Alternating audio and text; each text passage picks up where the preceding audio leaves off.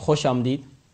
ناظرین کے نام آپ دیکھ رہے ہیں تعلیمات مصطفیٰ صلی اللہ علیہ وآلہ وسلم منہاج ٹی وی پر۔ جو آج ہمارا موضوع ہے، وہ ہے کہ صحابہ کرام حضور علیہ السلام کے ساتھ کس طرح محبت کرتے تھے، کہ اطاعت مصطفیٰ میں صحابہ کرام کا کردار۔ تو ابھی بریک سے قبل سید ابو بکر صدیق رضی اللہ تعالیٰ عنہ کا مشہور واقعہ اور سیدنا عمر بن خطاب رضی اللہ تعالیٰ عنہ کا مشہور واقعہ آپ نے سنا ہے، سماعت کیا ہے۔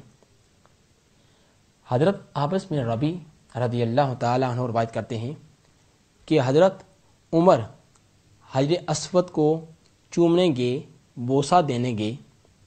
تو جب حضر اسود کو سامنے پایا تو اس کو دیکھ کر کہتے ہیں، انی عالم ان کا حجر لا تدر ولا تنفع ولولا انی رایت النبی صلی اللہ علیہ وآلہ وسلم یقبلو کا ما قبلتو کا اے حجر اسود، مجھے علم ہے، مجھے خبر ہے، مجھے معلوم ہے کہ تو ایک پتھر ہے اور تو نہ تو مجھے نفع دے سکتا ہے اور نہ ہی مجھے تو نقصان دے سکتا ہے۔